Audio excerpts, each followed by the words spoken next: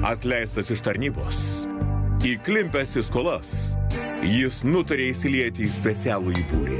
Baby, I need to take care of my family. Abejonės kelianti misija ir tiesos paieškos TV3 premjeroje Samdomas karys. Sekmadienį per TV3.